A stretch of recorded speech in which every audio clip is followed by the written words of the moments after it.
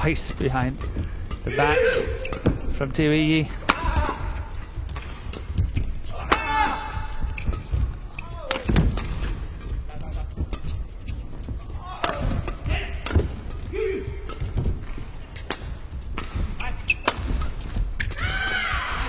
That's a fantastic rally, really good play from both combinations.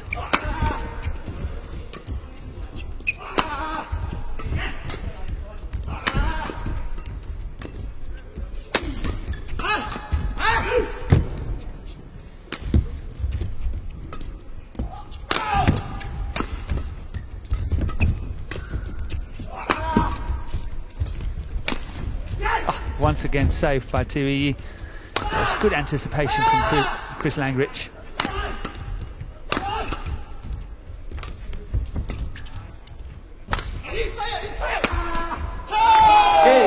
Well, what an audacious finish in the end. They needed four match points to get across the line. Gracious in victory.